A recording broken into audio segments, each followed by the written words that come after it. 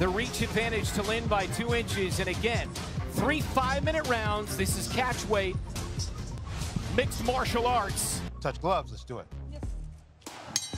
And here we go with bout number two. The Chin with an early inside leg kick to set the tone. Yeah, I'm expecting Lin Chin to really utilize that lead leg like she showed me earlier this week. She's got a nice little push kick, but she has to utilize that jab. She has to punish Itsuki every single time Itsuki tries to enter the pocket. And Chin working that front leg early on. The first of three five-minute rounds in this women's MMA matchup. She's staying busy with that jab with the rangefinder there, and you saw her step in for the first time with that jab to try to touch Itsuki. Oh, nice. Straight right from a chin. So far, hasn't done a lot. I think she's just looking for an opening. There right it is, the just like that. She gets that single leg, but look, Lin Chin defends with a front headlock, able to pop right back up to her feet.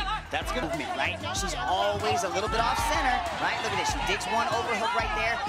And now she's got to start pushing on that head. You can see Tsuki's got that body locked, but she digs the underhook on her right side, and she needs to keep Itsuki Hirata upright, as upright as she can, so that Itsuki Hirata doesn't drop down and start attacking those legs. Couple of knees here from Hirata. Up against the fence is Lin Chin. First real attack from Hirata so far. You see, you guys mentioned earlier that left leg, the, the back of the leg of Hirata has taken damage early on in this fight. I know Rich called this a crossroad matchup for both these ladies, but this is a crossroads position right here. As we end the situation, oh, look at that, face planted her just like that. That was beautiful. But then her chin popped right back up. And the end of round one. Beautiful mixture of the jab from Heqin and the low leg kicks. 120 in round two. See, but see how she's feinting? She, she's trying to keep Hirata guessing by mixing in the feints, throwing these little twitches so that Hirata doesn't really know where things are coming from. Going nice. for the double is Hirata. Itsuki, can she slide away this time? Shoves Hirata into the fence. That was a good job by Hirata to go from the sprawl of Lin Chin right into the body lock. And this is where Itsuki Hirata really excels inside her clinch game, is when she's tight, pressing you up against the wall. She loves utilizing that knee to the inside of the right thigh of the chin.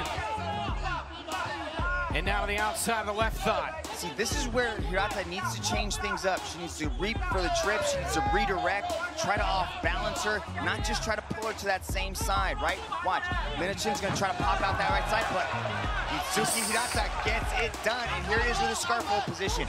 She's gonna try to neutralize the arm, but Lin Chin pops right back up.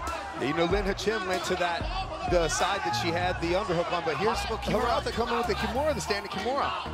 14 seconds in round two. Heqin riding the back of Itsuki Hirata. And now they go to the deck once again. Oh, using the Kimura to end up on top. 10 minutes at.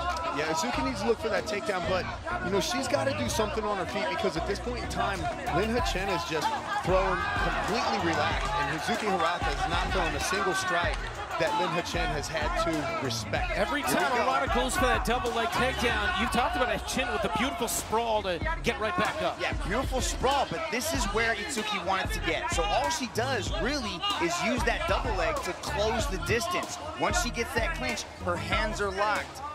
She's sneaking around right now to the back.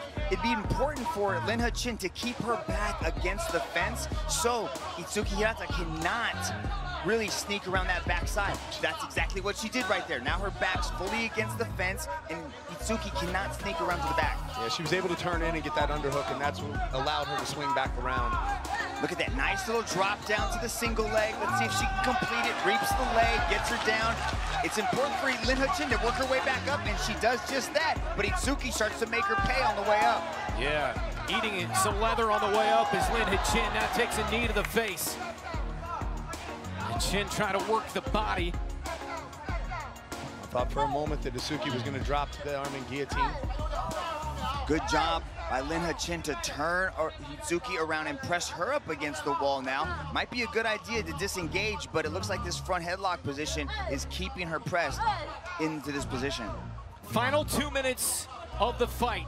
Hirata and Lin. Good damage to the legs right there with the knees. I'll tell you what, I'm looking at Hirata's leg right here in front of me on the cage, and man, she's going to have trouble walking this week. Brutal damage to that left leg, but she is fighting hard. They're back up against the fence. Itsuki, it looks like she's trying to time one of these legs so she can possibly trip or throw across. Just There it like is. that. That was beautiful. Takedown for Lin Heqin. If Itsuki can wrap it up here in these ni- last 90 seconds, it would be a thing of beauty for Itsuki Hirata. Let's see if she can pass over. She likes this position. She floats over the top. But Lin Chin ends up in the front headlock position. Seconds left. Yeah, she had about a minute left, and she could have put the pedal down, but she seems a little... Harada! Right there! Big right hand! The big right hand! Harada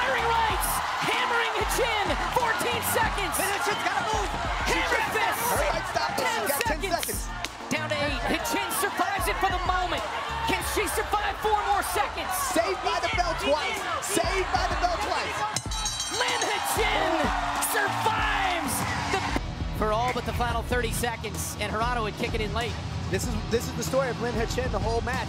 She's keeping Itsuki Hirata at range. She's tenderizing that leg, tenderizing that leg. Great job with the takedowns here. Great job with the takedown defense, I should say. Working off the cage, scrambling really well. But at the end, Itsuki Hirata was able to get on top and do what she does. And she was working this arm knowing that the time was running out. But Lin Heqin saved by the bell in that round. And then finally at the end of the match here, you see Itsuki Hirata land that big overhand right. And once again, she ends up on top. But Lin Heqin saved by the bell. Tom Lau. Ladies and gentlemen, after three rounds of battle, we turn now to the judges' scorecards.